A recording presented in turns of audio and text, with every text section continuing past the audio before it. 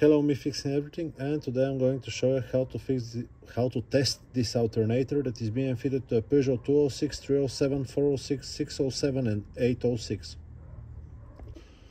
Something that is good to know before we start, you don't need to remove the alternator from the vehicle, you just need to disconnect the battery and the positive cable and the connector here on the side, I'll show in a second. And you need a multimeter, mice with automatic range. Okay, now you can see that the alternator is moving that's good it's not blocked because it happens. Sometimes the alternator gets stuck mechanical problem now we'll test the electrics. What you need to do is remove the 13 millimeter nut from here remove the cable the positive wire don't forget to disconnect the battery. Remove the communication wire here unplug it and now here sometimes there is 8 millimeter nut sometimes there is not sometimes there is like a retaining clips this plastics gets gets removed like this. This is the voltage regulator remove it with 7 millimeter uh, socket yeah like this. Here usually there is a cap this one goes to the side. Now quickly we're gonna check the rotor. You can see it right here yeah.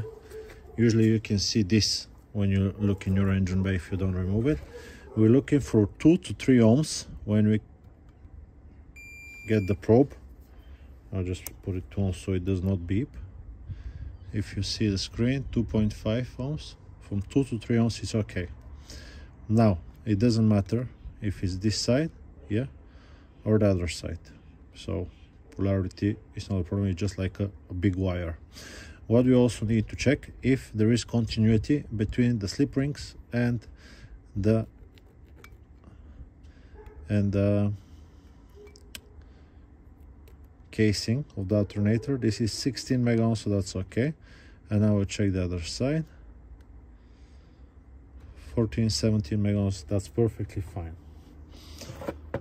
Uh, mega ohms is a very large number so it's like nothing. Now next thing we're going to check is the rectifier bridge. What you want to do? Take the negative probe black one put it onto here that's the post for the big red wires for the positive terminal and touch here okay? This will check the diodes. We're looking for 0 0.5 0 0.45 it's okay. 4.5 is okay. 4.5 is okay. So that's the first three. You can take the opposite and see that they don't go back. Nothing nothing nothing. If it beeps it's a problem. And it's showing like a zero zero. Now what you're gonna do is take the positive yeah? Put it here and touch it onto this side. Can you see these three? One two and the third one. So this means the rectifier bridge is perfectly fine. You can take it again black one open open open. Nothing. Good. So the rectifier bridge is okay. Next thing we're gonna check is the stator winding. We want to go on the side of them and hear them beep. But most importantly we want to get on one of them yeah?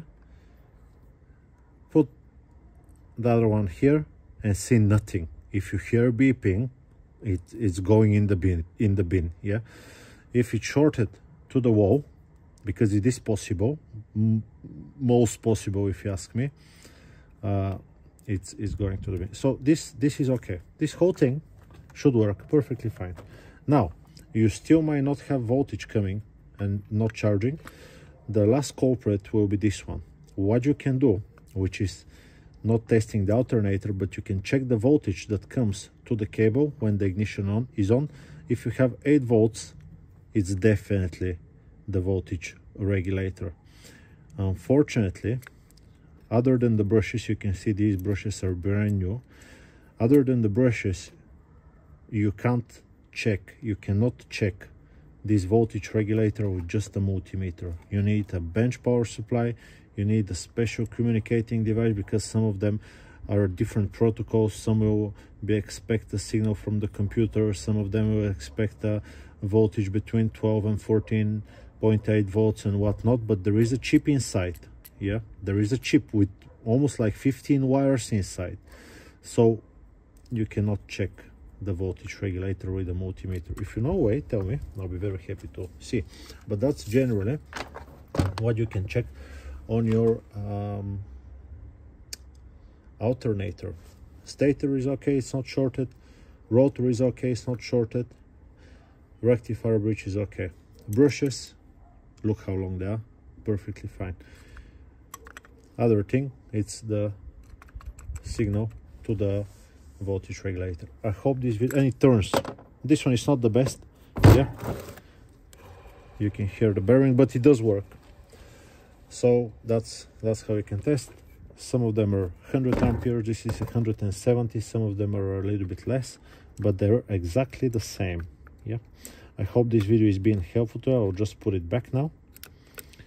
And i will see you on to the next one. I will be happy if you leave me a comment or even if it's negative. I might not reply but i'll still read it. That's it. Bye bye